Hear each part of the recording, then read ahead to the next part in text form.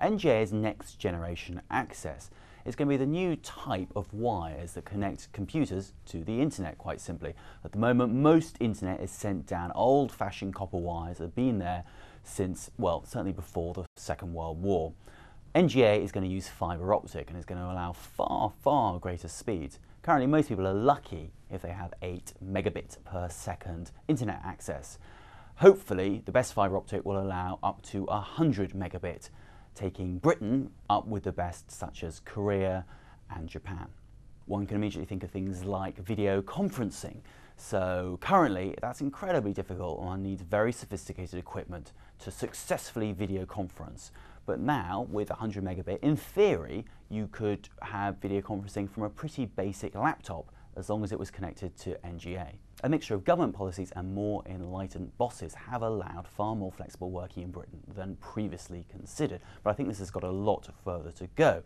The idea of a 9 to 5, Monday to Friday job, I think will seem a very odd idea to all sorts of people, especially working mothers and people who travel a lot. I think fast in fact, seamless internet access really is the key to this. You need to be able to log on from home as quickly as if you were in the office, if not quicker. That's the only way flexible um, working can happen, and you need to have access to all the systems that a big company has. Many companies have special proprietary databases that really don't run on home computers, and you can't get access to them.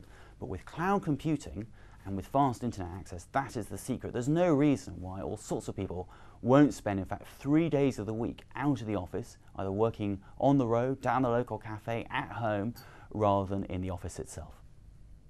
As a media company, speed is of the essence now. So at The Telegraph, we're often competing with the newswires of this world to get the stories out there.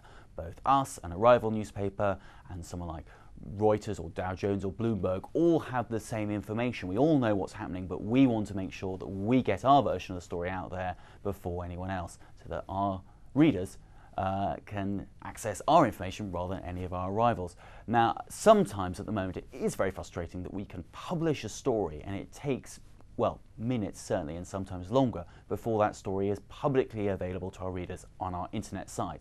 One has to hope with super fast broadband, with new generation broadband, that one can push a button and literally as well as metaphorically, it's there available like that.